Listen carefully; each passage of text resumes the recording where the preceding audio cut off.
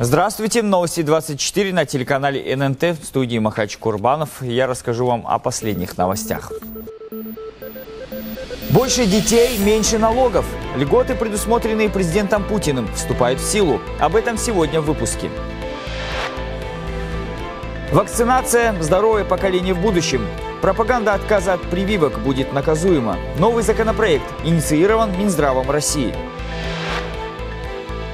Мошенничество в ногу со временем. Через гаджет и мобильный банк теперь можно потерять свой капитал. Как не стать жертвой обмана, вы узнаете в сюжете наших корреспондентов. Больше детей, меньше налогов. Госдума для многодетных семей вводит льготы, которые были предусмотрены посланием президента России. Закон об этом принят окончательно. Он освобождает от налога на имущество по 5 квадратных метров в квартире и по 7 в доме на каждого ребенка. Также изменения внесены и по земельному налогу. Те, у кого трое или более детей, смогут серьезно сэкономить. Вычесть 6 соток при расчете налоговой базы. Другая важная поправка. Налог на землю не может увеличиваться более чем на 10% по сравнению с прошлым годом.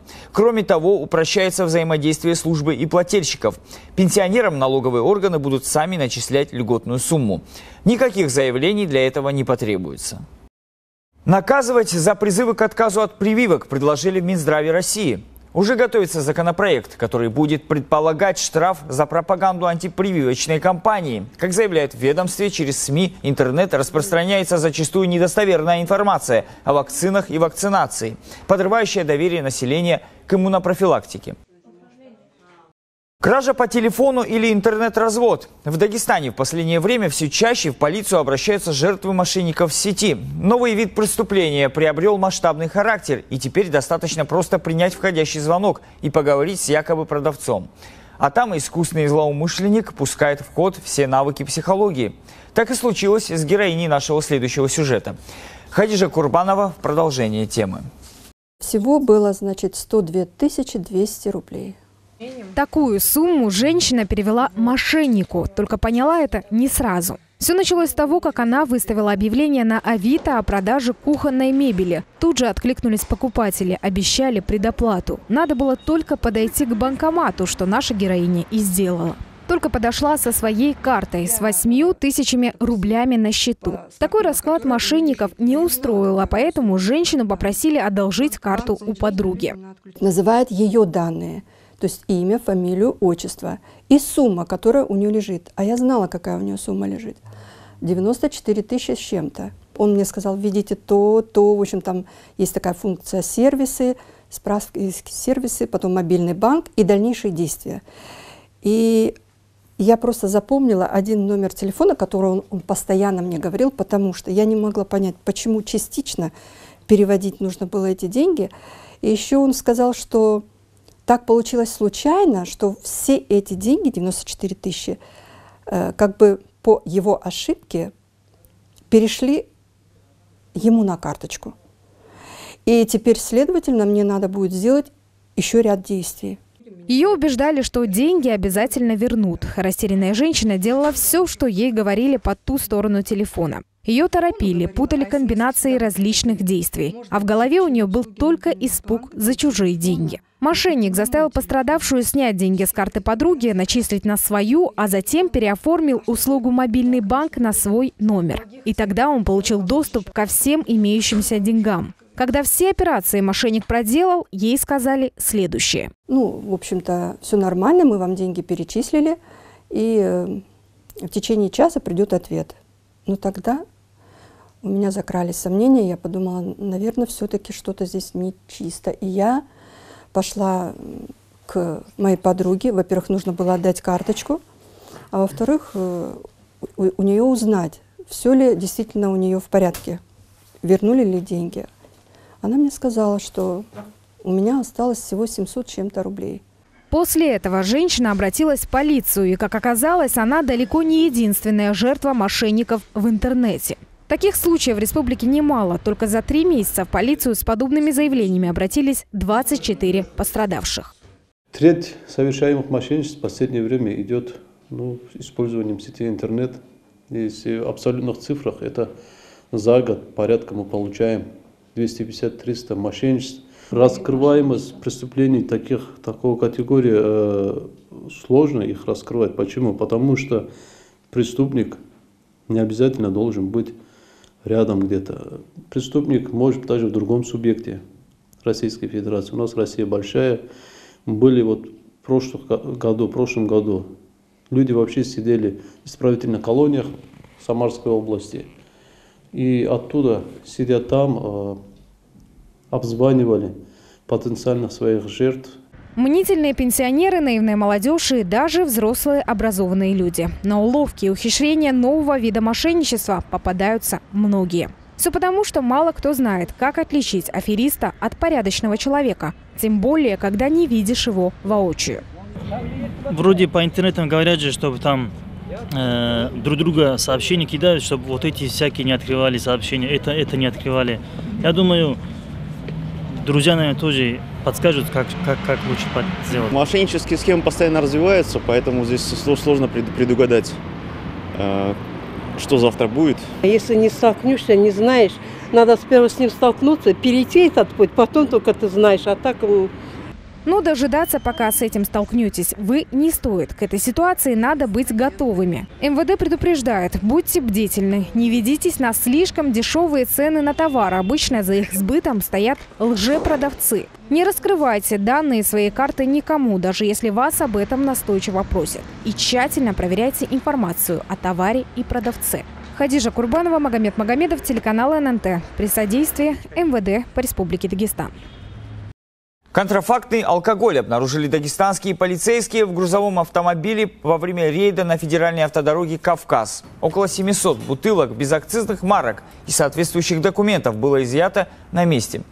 Владелец контрафакта тщательно замаскировал груз. В машине мужчина оборудовал специальные полки и скрыл их фанерной обшивкой. Общая сумма изъятого товара составила почти 180 тысяч рублей. Установлено, что продукция принадлежала 63-летнему жителю Осетии. Перевозил он спиртное для сбыта на территории Дагестана. Служить России! В Дагестане с 1 апреля начался весенний призыв. На срочную службу в ряды вооруженных сил призовут около трех тысяч дагестанцев.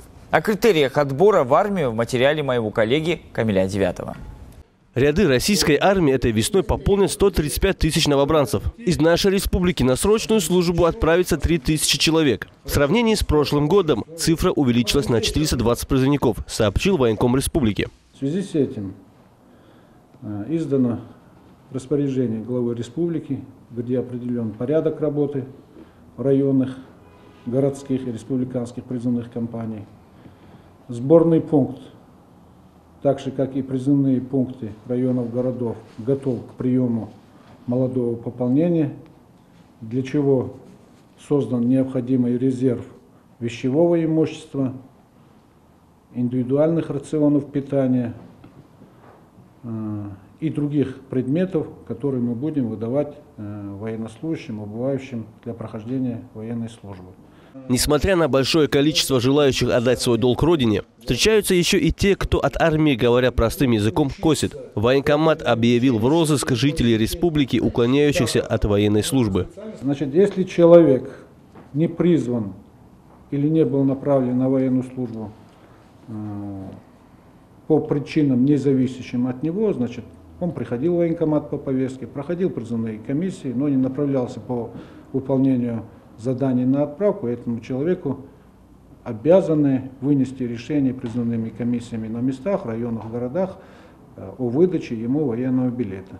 Но ну есть у нас более 4 тысяч граждан, которые находились и находятся в розыске, которые по повесткам не прибывают в военные комиссариаты, уклоняются от тех мероприятий, которые необходимо провести. Этим людям, естественно, призывными комиссиями выносится решение о выдаче справки взамен военного билета. Ну а тех, кто хочет служить Родине в рядах вооруженных сил России, ждут четыре военных округа и корабли Северного флота. Камиль Девятов, Нурмагомед Магомедов, телеканал ННТ, Махачкала. Как дагестанка фиктивно выдала замуж свою мать. И другое интересное смотрим в коротком обзоре от Карины Баталовой. Дагестанка фиктивно выдала замуж свою мать. 52-летняя жительница Шамильского района договорилась с начальницей отдела местного ЗАГСа и получила свидетельство о заключении брака между ее матерью и местным жителем, которые никогда женаты не были. Далее, действуя по доверенности от имени своей мамы, женщина представила в Министерство труда и социального развития Дагестана фиктивный договор купли-продажи квартиры и другие документы, хотя при этом не имела намерения осуществлять покупку жилья. Далее она получила около 1 миллиона рублей безвозмездной субсидии, выделяемые в рамках реализации программы, утвержденной постановлением правительства Дагестана. В отношении мошенницы возбуждено уголовное дело. В Махачкале семилетний мальчик умер после укола в одной из больниц города. По данным Следственного комитета Дагестана, 19 января ребенку в ходе подготовки к плановой операции ввели препарат, который спровоцировал анафилактический шок и судороги. Мальчик впал в кому. Его доставили в детскую республиканскую клиническую больницу, где 5 марта, не приходя в сознание, он скончался. По данному факту возбуждено уголовное дело по части 2 статьи 109 Уголовного кодекса «Причинение смерти по неосторожности вследствие ненадлежащего исполнения лицом своих профессиональных обязанностей.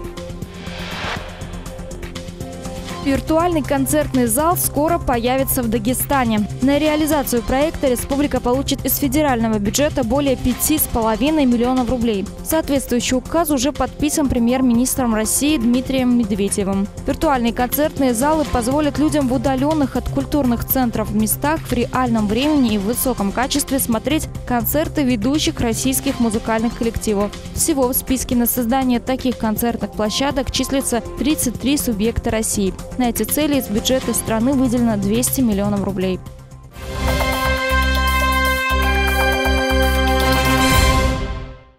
Двукратная олимпийская чемпионка Елена Синбаева приехала в Дагестан. Визит прославленной спортсменки в регион связан с проведением спортивно-творческого мероприятия. Каждый ребенок достоин пьедестала. Организовано оно благотворительным фондом Елены Синбаевой для детей из социальных учреждений, попавших в трудную жизненную ситуацию. Дагестан – один из нескольких регионов, принимающих данный спортивный праздник. Отметим, что последний раз известная спортсменка приезжала в Дагестан в 2008 году после победы на Олимпиаде в Пекине. Ну и к этому часу у нас все. Оставайтесь с нами, не переключайтесь. Смотрите также наши новости в YouTube и в Instagram. До свидания.